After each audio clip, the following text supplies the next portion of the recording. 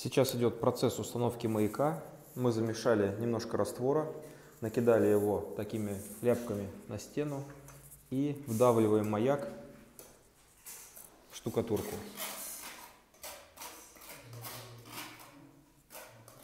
Вот такими легкими движениями мы устанавливаем маяк, даем отдохнуть штукатурке, засохнуть 3-4 часа и можно уже делать намет. На противоположной стене у нас стоит лазер. И вот посмотрите, какой луч вот бьет вот прямо до сюда.